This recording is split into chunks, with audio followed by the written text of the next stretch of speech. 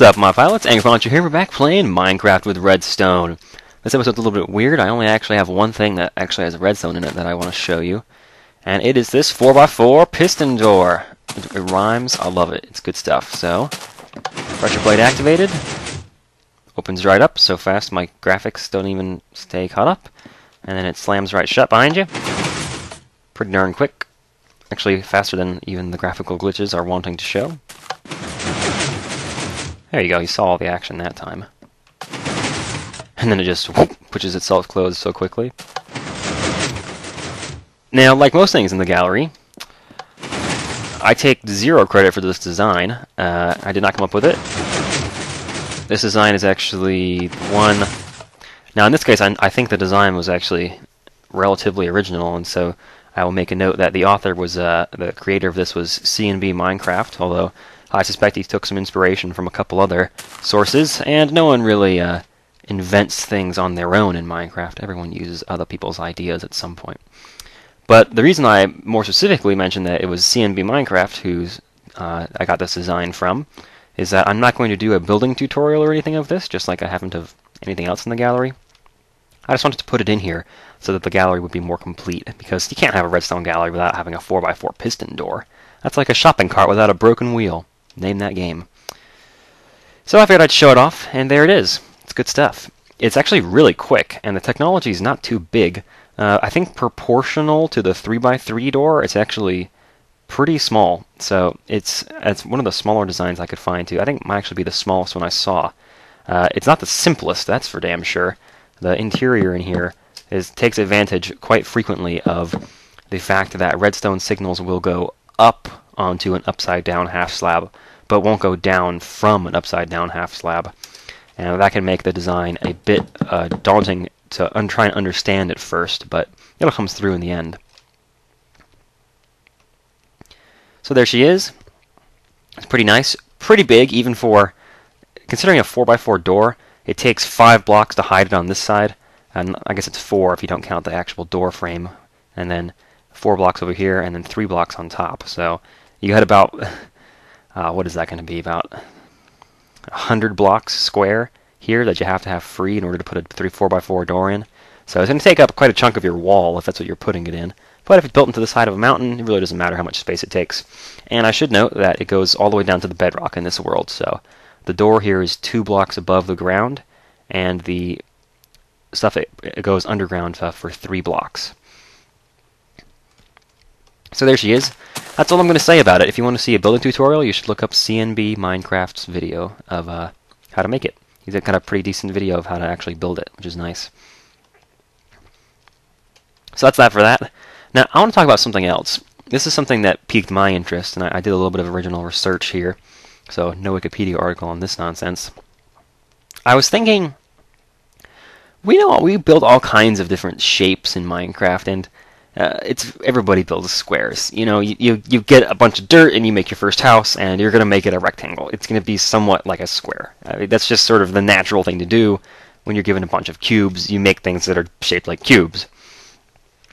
And then some people get creative, and it's like, oh well, I don't want to live in a cube house, or I want to have a dome on top, and and then we learn how to make circles. And I'm I'm probably going to do a little feature on circles eventually, but they're they're not too complicated, honestly. Uh, they're a little more complicated than what I'm doing here, but so cir- circles are just sort of the next logical step. It's like I want things to be round, but really I feel like it's not the next logical step. I feel like we skipped a couple, actually quite a few, and infinitely many actually.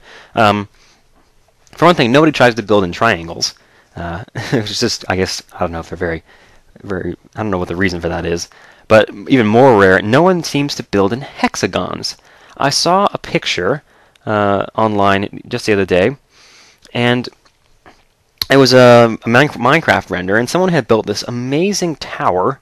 Uh, but it was a relatively standard wizard's tower kind of build, you know, cobblestone with wood roof and all that stuff. The kind of thing you'd expect to see on a Minecraft build. But the one thing that stood out to me is that the tower was a hexagon. It was it had six sides, and the different uh, branches that came out of it all had six sides. And I was like, wow, you know, I'd never have tried to make a hexagon in Minecraft. I'd never tried to make anything with six sides. And so I sat down and did a little math and tried to figure out, okay, well, how how much should I, uh, how how should I make a hexagon? It's like, okay, well, easy enough, right? It's to have six sides, and they're in parallel pairs. So this side here, and then this side over here, they're parallel. So they're just both going to be straight lines with the blocks on the ground. So that makes sense. That's pretty easy. So we'll get those out of the way. And then I was trying to think, well, in order for this to be a real hexagon, uh, this the angle, I'll try and show it, between this side and this side, the angle in here, needs to be 120 degrees. So I was like, okay, uh, well, if I want a 120 degree angle, how, how, how do I get that th this side to be at the right angle? And I, I, thought about it for a while and was like, well, you know, let's see, da da da. I'm trying to get try to get the math right. And basically, in order to get a, a 120 degree angle here, the right number of blocks to go over is three three over and two up, because that's the uh, three halves angle here, which means that this is 30 degrees from 90, which gives it 120 total. I won't go into the geometry really, but basically what I was what I was thinking is okay, I'm going to put a side length here, and it's going to go at a 33 or a 30 degree angle over here, and then it's going to bend and go over there. Again, another 120 degree angle in between these. And then if I do that six times, I get I get a bunch of these angles coming together, and eventually it comes around and it meets where I started. And it was like, okay, and this was the result.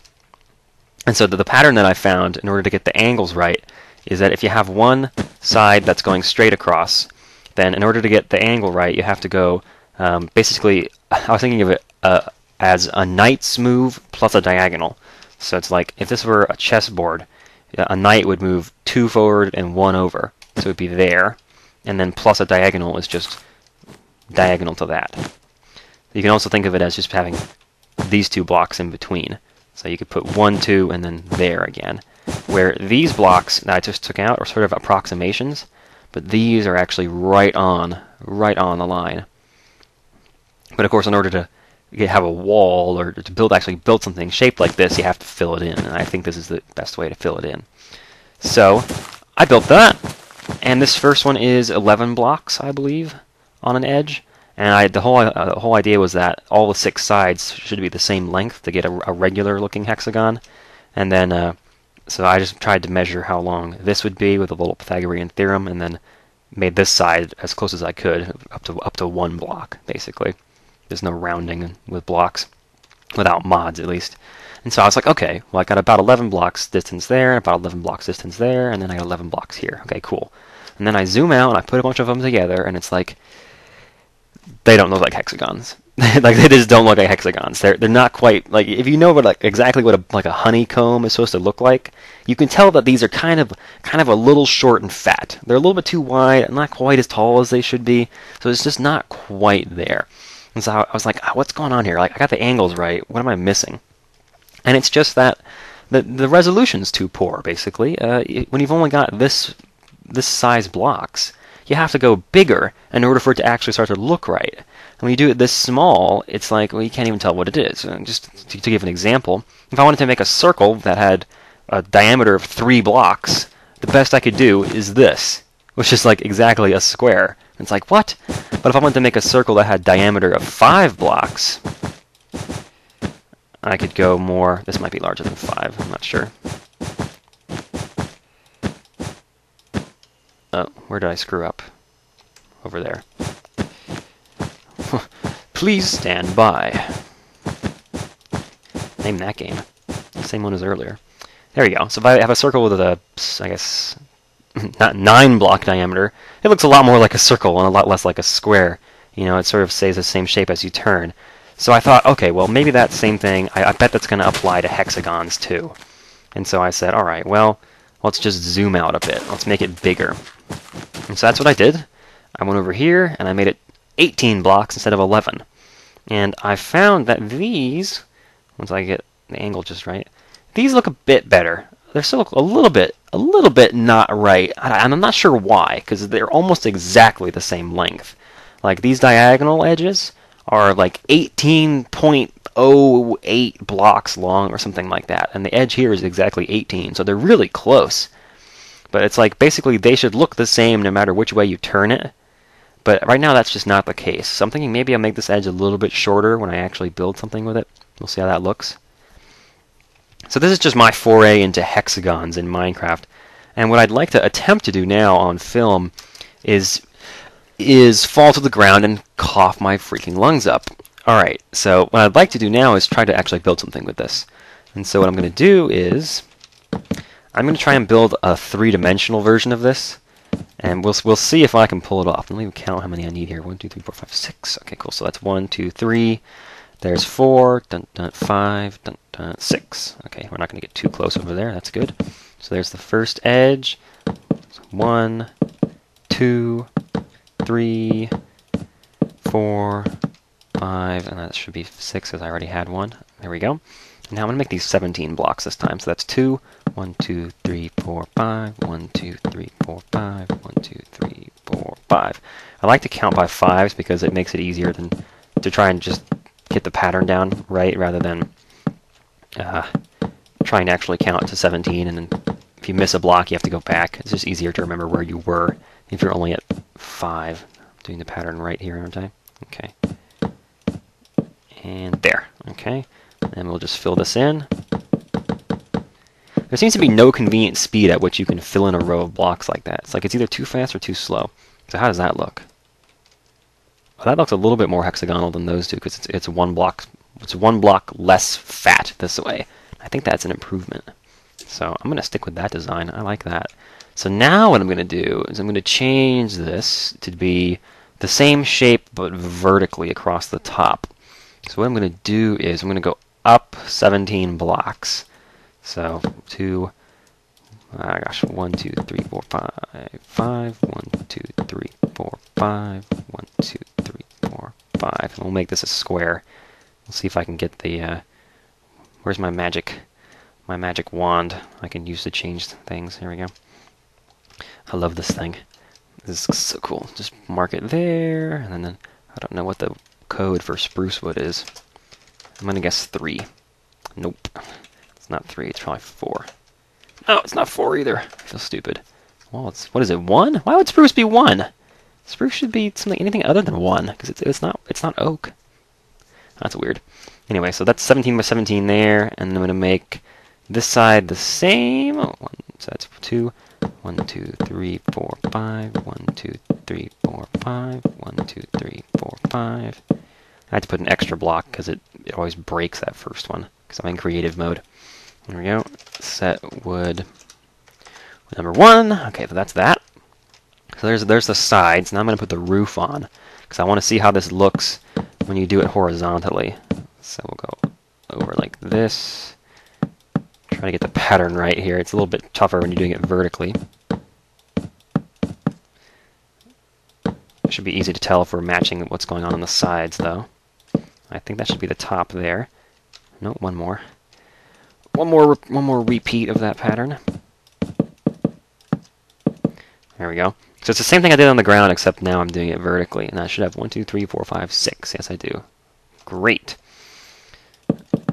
We'll do that, and then I'm going to continue in this way. Making constantly making mistakes here. My hand is shaking because I did a bunch of writing earlier. That always throws me off. It's killing my gaming skills, man. So I'm interested. I have not tried this yet. This is my first attempt at building this kind of structure. And so I'm curious to see how it turns out. Okay, that's cool. I'm going to use copy paste to get the rest of these. Oops, I should get in the right place for this. Let's do it right. We'll do it here. Hang on, let me make this really easy for myself. I'm going to put a ledge down. Blink. You got yeah. If you don't use two or uh, single player commands, you're missing out, man. There's so many great things you can do. Copy from there. Hello, did it set? Copy that position, dang it. There we go. Copy from there to over here. Thank you. Now I can just paste that. So let me, first I have to, so I selected it and now I do copy. And then when I step over here, I can do paste unknown command. Oh, it should be two slashes. Boom. Oh, why didn't it work? Oh, I didn't do it up. What am I? That's dumb. Okay, let me get this right. Hang on a second here. Let me straighten this out. I'm going to have to paste some extra blocks down. That's okay. There we go. I'll set a second position to up here instead so that I actually Sometimes it doesn't reset properly. There we go. I'll set the second position up top to there so that it actually highlights the whole thing, not just the bottom row, because it selects a square basically. Okay, I'll land here. So copy, and then when I do uh, paste, it should put the whole thing in. Okay, great. That'll make this easier. Paste. Hooray! Better than having to build the damn thing all the way across. It's not as much fun to watch in the video, is it? And it all pastes relative to where you are. That's why I put this ledge down.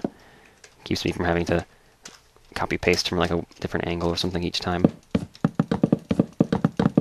Get out of here. There we go. Now there should be an extra bunch of blocks up here from where I just had a border.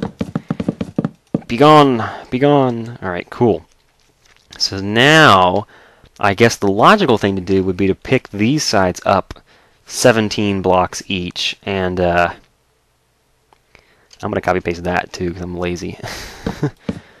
One, two, three, four, five. One, two, three, four, five. One, two, three, four, five.